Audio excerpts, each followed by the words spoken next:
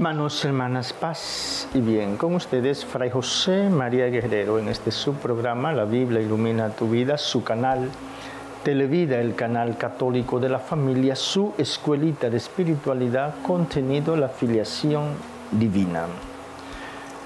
Hermanos, hermanas, continuamos con Jesús en esta, en esta cuestión, hermanos, hermanas, que es esencialísimo en el discipulado.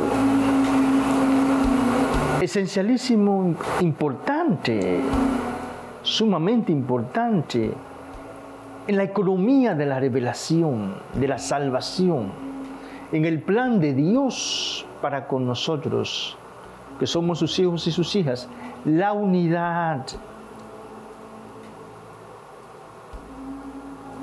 La unidad, de, la unidad de Dios, hermanos, hermanas, Solo existe un Dios.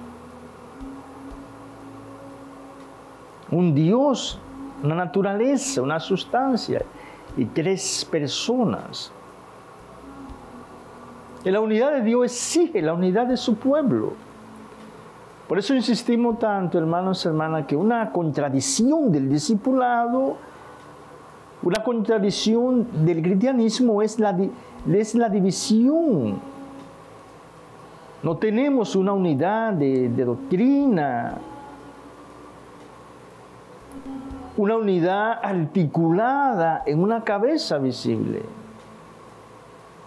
Una unidad articulada en una cabeza visible, que es el Papa. Decíamos ayer que solamente la Iglesia Católica tiene esta unidad articulada en una cabeza, el Papa que tiene autoridad sobre todas las demás iglesias.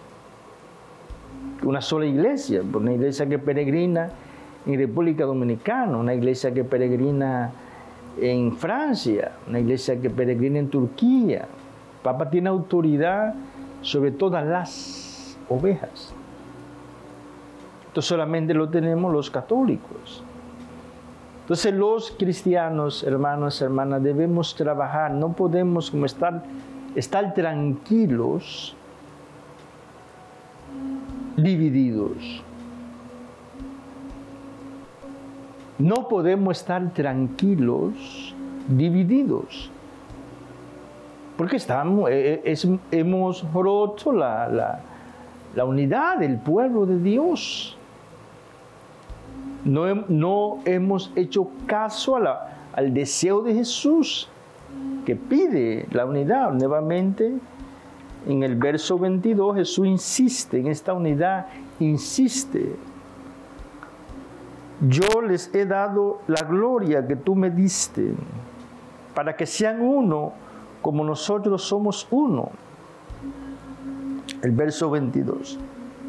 Yo les he dado la gloria les remito, hermanos y hermanas, al verso 14 del prólogo. La palabra se hizo carne y habitó entre nosotros y hemos contemplado su gloria. Si la Biblia de Jerusalén tiene un hermosísimo comentario exegético a la gloria. La gloria es la manifestación de Dios. Jesús nos ha manifestado su gloria a través de sus signos, sobre todo el gran signo de la resurrección. Jesús nos ama y hemos visto su gloria. Hemos visto los signos de Dios a través de su Hijo. Se dice Jesús, yo les he dado la gloria que tú me diste.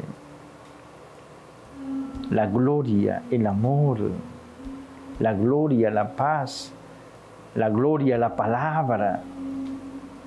Jesús nos la ha dado a nosotros para que sean uno. Jesús nos ha manifestado su gloria para que seamos uno, como son uno el Padre y el Hijo, y por supuesto el Espíritu Santo, la unidad de Dios. La unidad de Dios. Y una reflexión al margen, que esto de la unidad y la diversidad es algo fundamental en el ser. La unidad y la diversidad es el fundamento de la, de la vida, de la existencia. Que el único existente, hermanos y hermanas, es Dios. Y en esta, en esta escuelita que nosotros hablamos tanto, por ejemplo, de la conciencia, se manifiesta la unidad y, la diversidad. Por ejemplo, la conciencia es una. La conciencia que yo tengo de mí es una, solo tengo una conciencia. Pero es una conciencia una conciencia diversa. Porque mi existencia tiene tres dimensiones. Tiene mi naturaleza humana, mi género masculino y mi identidad psicológica, Fray José. Yo tengo una única conciencia, pero yo no solamente tengo conciencia de que soy un ser humano.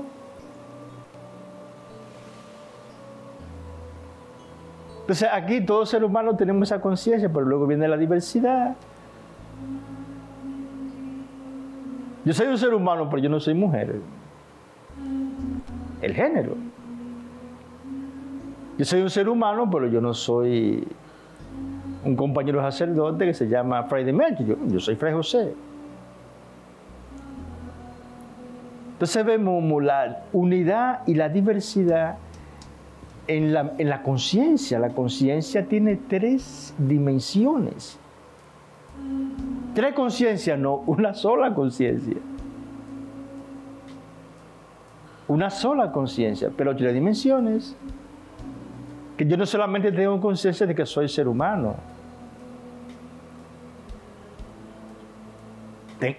soy un ser, la mujer es un ser humano también.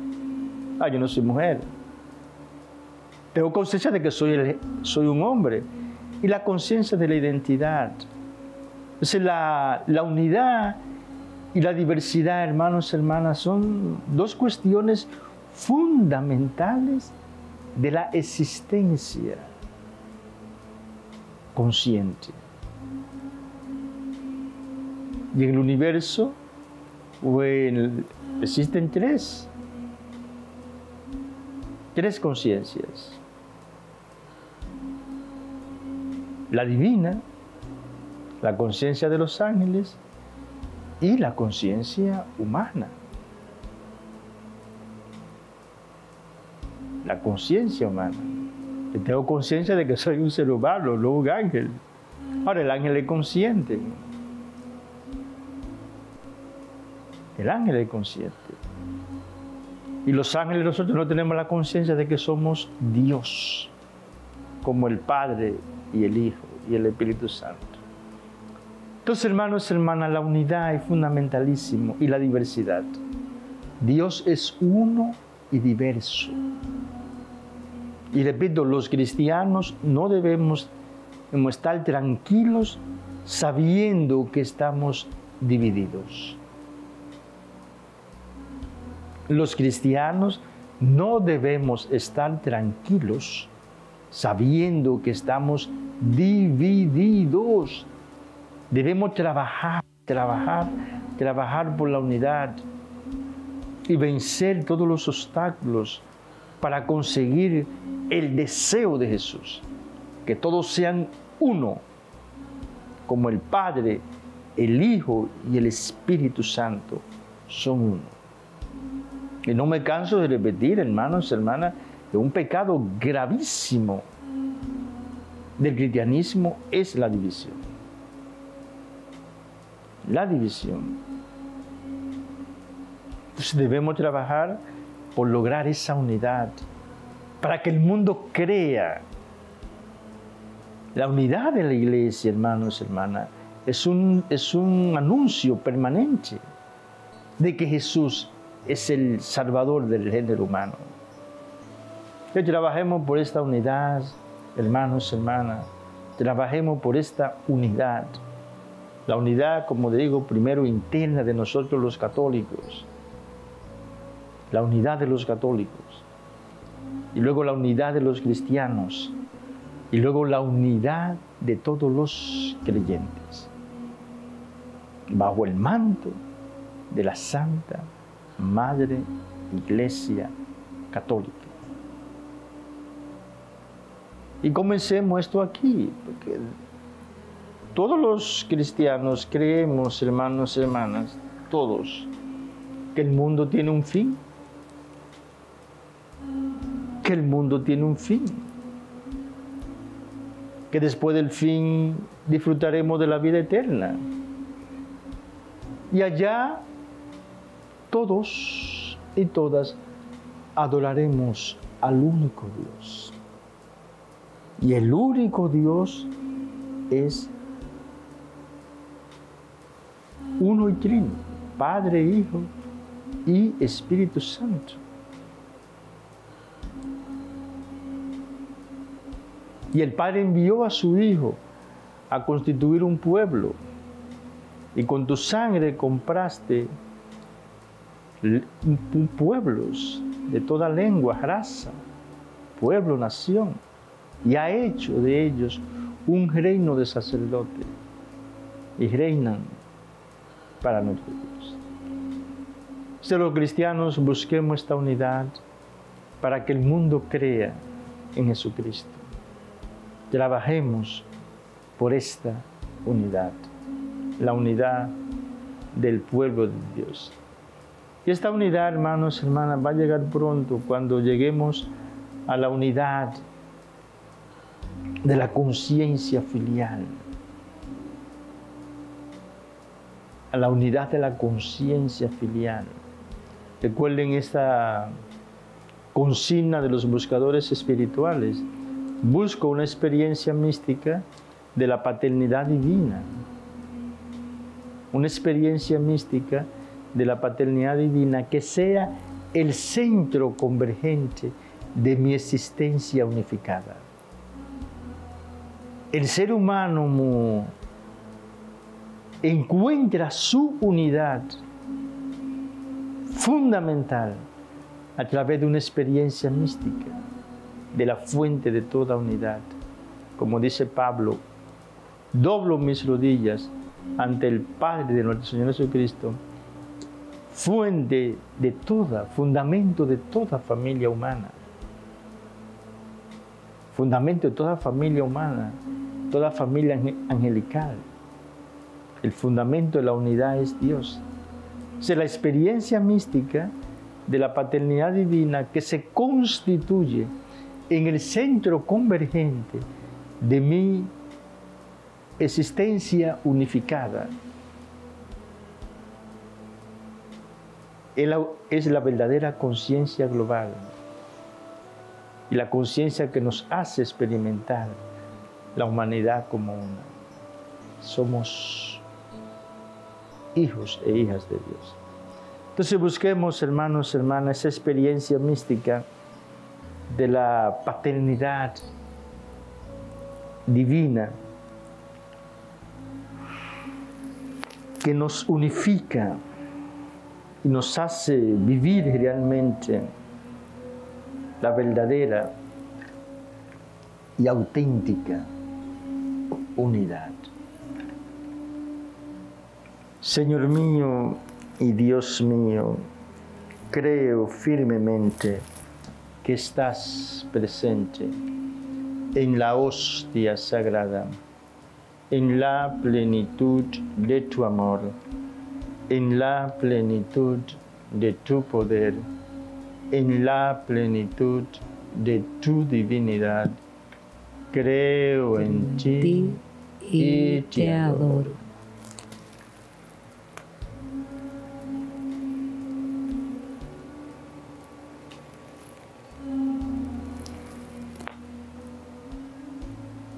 Padre infinitamente bueno, infinitamente santo, infinitamente amado, concédenos el don del Espíritu Santo para que durante la jornada de este día podamos pensar, hablar, sentir, imaginar, y actuar como hijos tuyos a imagen de Jesucristo, tu Hijo amado. Amén. Amén.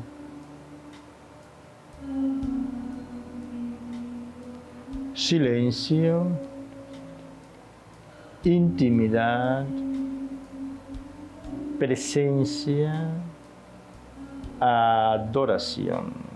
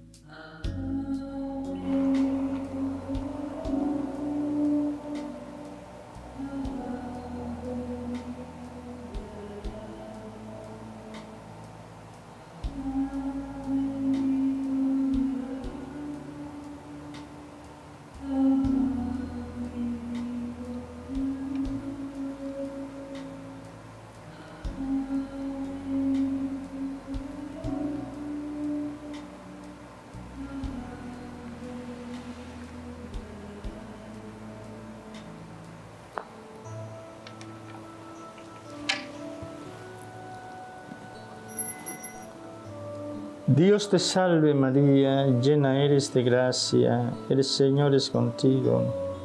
Bendita eres entre todas las mujeres, bendito es el fruto de tu vientre Jesús. Santa María, Madre de Dios, ruega por nosotros pecadores, ahora y en la hora de nuestra muerte. Amén. Gloria al Padre y al Hijo y al Espíritu Santo. Como era en un principio, ahora y siempre, por los siglos de los siglos. Amén. María Santísima, Virgen de la Alta Gracia, protectora del pueblo dominicano. Ruega por nosotros. María Santísima, Virgen de las Mercedes, patrona del pueblo dominicano intercede por nosotros.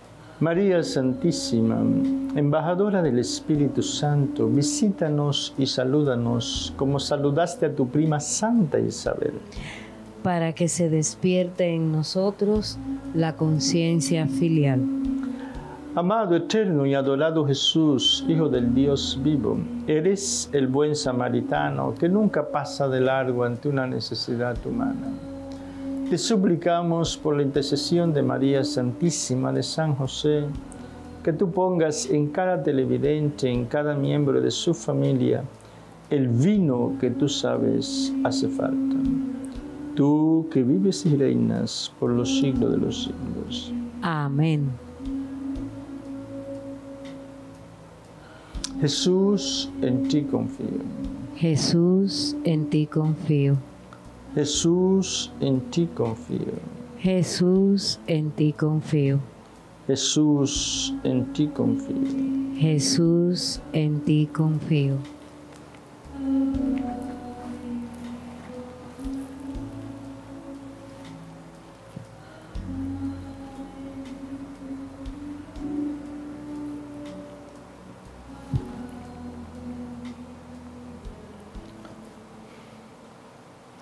Amado, eterno y adorado Jesús, Hijo del Dios vivo, bendice el planeta Tierra, bendice a cada ser humano que lo habita.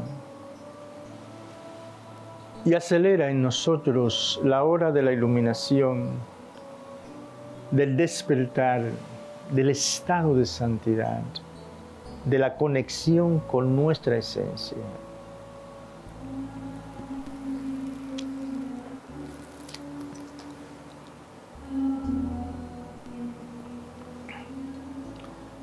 Bendice Jesús a todos los enfermos del universo humano.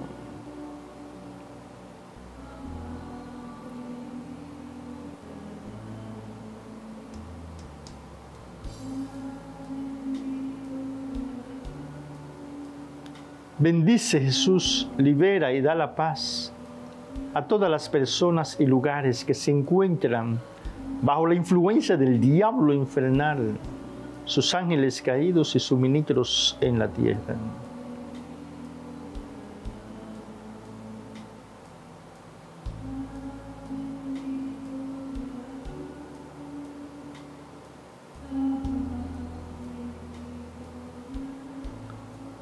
que mueran en tu paz, amado Jesús, todos los hombres y mujeres que le ha llegado su hora.